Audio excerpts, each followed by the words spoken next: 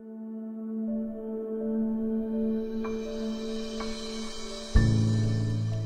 Pierwsza odsłona serwisu Szukaj w archiwach e, powstała w 2009 roku i chodziło o to, żeby pomóc, e, żeby ułatwić pracę e, użytkownikom archiwów państwowych, którzy do tej pory musieli fizycznie przyjeżdżać do archiwum i korzystać z czytelni.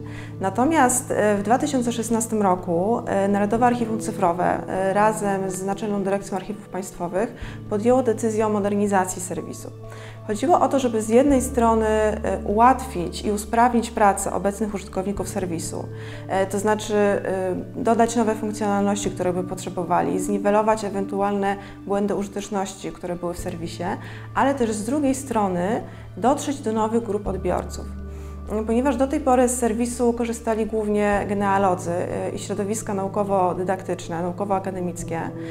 Natomiast w serwisie znajduje się też bardzo dużo materiałów, które mogą interesować innych odbiorców.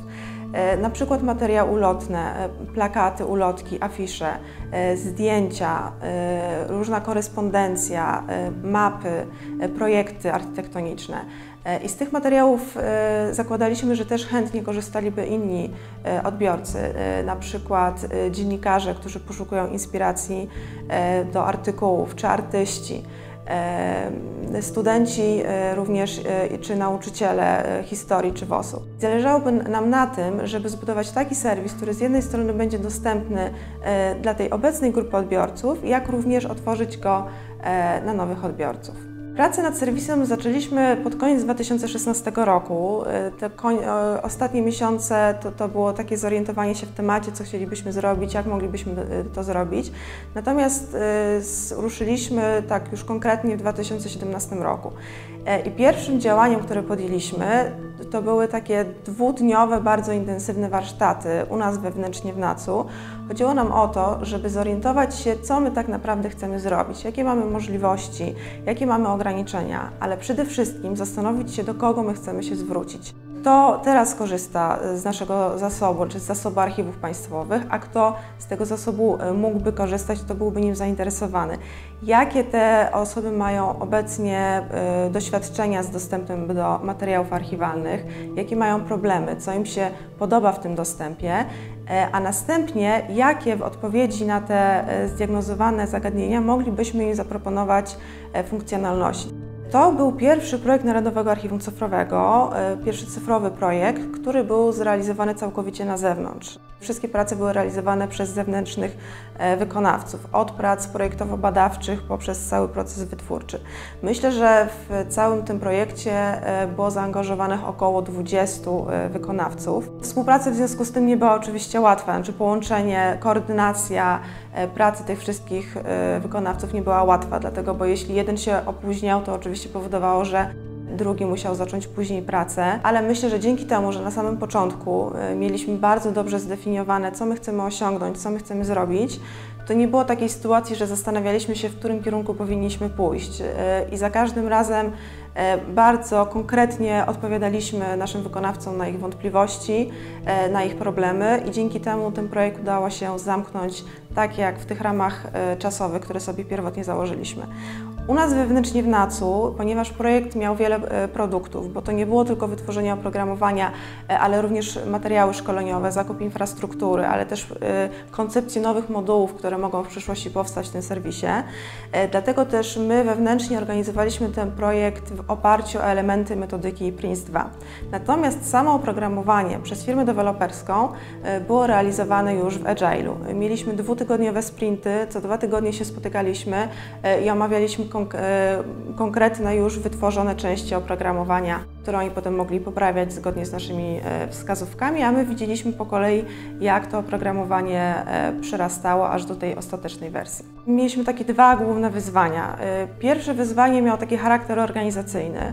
To było to, że na budżet na ten projekt mieliśmy z, uzyskaliśmy z budżetu państwa. To były pieniądze Ministerstwa Kultury i Dziedzictwa Narodowego oraz Naczelnej Dyrekcji Archiwów Państwowych. To powodowało, że musieliśmy te pieniądze wydać w ramach rogu budżetowego e, do końca roku, a tak naprawdę wiemy, że w praktyce to, to jest połowa grudnia.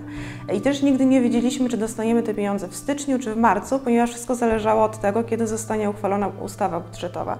Także my składając wniosek i określając, y, jakie prace podejmiemy w danym y, roku, przyjmowaliśmy pewne założenia, natomiast tak naprawdę nigdy nie wiedzieliśmy, kiedy te pieniądze dostaniemy i czy będziemy w stanie w tym czasie e, te zaplanowane prace zrealizować. Ostatecznie wszystko nam się udało, e, natomiast wiązało się to z pewnymi zagrożeniami, e, jeśli chodzi o realizację, dlatego bo nie mogliśmy wydłużyć umowy z wykonawcą na styczeń czy na luty, tylko właśnie musieliśmy te, te prace zakończyć zawsze do połowy grudnia. Drugie wyzwanie to było takie wyzwanie o charakterze merytorycznym. E, to była kwestia jakby samego charakteru serwisu. Materiały archiwalne e, opracowywane są zgodnie z metodyką archiwalną, która jest zgodna z międzynarodowymi standardami. Dotychczasowa odsłona serwisu e, była zbudowana właśnie w oparciu o tą metodykę. To wynika też z tego, że materiały archiwalne do tego serwisu pobierane są z z systemu, w którym archiwa opracowują e, materiały i o który oczywiście też jest zbudowany w oparciu o tą metodykę. Obecni użytkownicy serwisu e, znają metodykę archiwalną i dla nich poruszanie się w serwisie, który jest zbudowany w oparciu o tą metodykę nie stanowi żadnego problemu. Natomiast w związku z tym, że my chcieliśmy dotrzeć również do nowych grup odbiorców, którzy są takimi archiwalnymi laikami, powiedzmy, oni nie znają tej metodyki, nie wiedzą w jaki sposób materiały archiwalne są opracowywane, jak wygląda praca archiwów, na jakiej zasadzie określone materiały trafiają do określonego archiwum, to dla nich korzystanie e, z serwisu, który jest zbudowany właśnie w oparciu o tą metodykę, było, e, jest dużym utrudnieniem.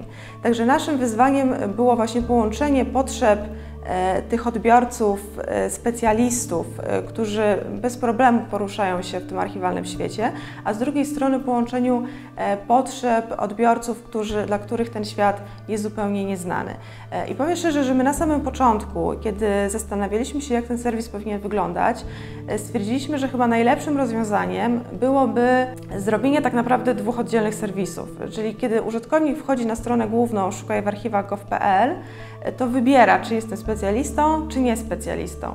E, co oczywiście wiąże się z tym, że tak naprawdę musiały powstać dwa oddzielne serwisy. Natomiast dzięki temu, że zrobiliśmy badania potrzeb użytkowników i dowiedzieliśmy się, w jaki sposób pierwsza i druga grupa odbiorców poszukują materiałów archiwalnych, jakie mają potrzeby, jak wygląda ta ścieżka poszukiwania, e, i potem też dzięki temu, że mieliśmy bardzo dobrych projektantów, e, udało nam się połączyć te potrzeby w jednym serwisie. I te ścieżki nachodzą na siebie, ścieżki poszukiwania materiałów archiwalnych tych dwóch grup odbiorców nachodzą na siebie jednocześnie sobie nawzajem nie przeszkadzają. Czyli udało nam się połączyć w jednym serwisie e, te tak różne skrajne potrzeby.